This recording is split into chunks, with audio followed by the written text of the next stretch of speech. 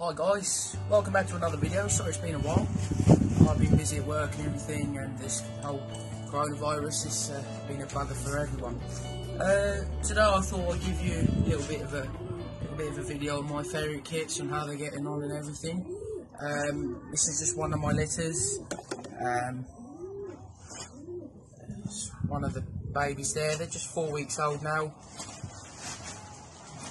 These are the babies out of my polecat out. I've got blacks, I've got one sandy, one silver.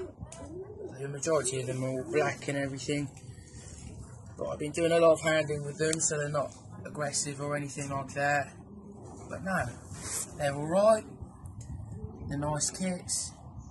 Got a litter of five jills, five hobs this year.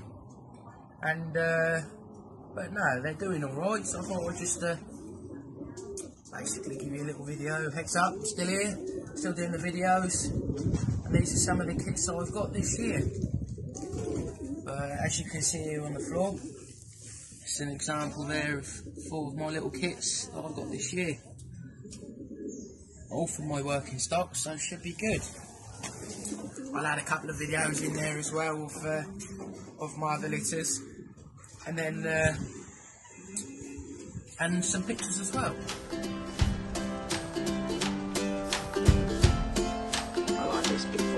Oh, oh. I like this big boy.